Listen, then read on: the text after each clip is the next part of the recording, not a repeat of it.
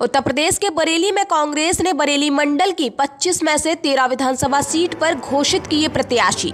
बरेली की कैंट विधानसभा सीट से पूर्व महापौर सुप्रिया एरन के टिकट का ऐलान। मीरगंज से नगर पंचायत मीरगंज के चेयरमैन मोहम्मद इलियास, आंवला से ओमवीर यादव, बहेड़ी से संतोष भारती पीलीभीत से बरखेड़ा से पीलीभीत के जिला अध्यक्ष हरप्रीत सिंह झब्बा, पूरमपुर सुरक्षित सीट से ईश्वर दयाल पासवान, शाहजहांपुर के जलालाबाद सीट से गुरमीत सिंह, तिलहर से रजनीश कुमार गुप्ता, पवाया सुरक्षित सीट से अनुज कुमारी, शाहजहांपुर शहर सीट से पूनम पांडे, ददरौल सीट से अनवीर शफदर और बदायूं की विशौली सुरक्षित सीट से प्रज्ञा यशोदा। और बदायूं शहर से रजनी सिंह को टिकट दिया गया है। कांग्रेस की पहली सूची में तेरह टिकट घोषित हो चुके हैं। अब मंडल की बारह विधानसभा सीट के टिकट बचे हैं। इनका भी जल्द ऐलान होने की उम्मीद है।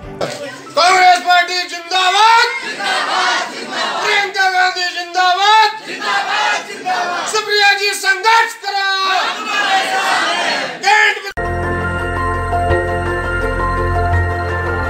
देखते रहिए डीबी भारती समाचार नज़र हर खबर पर।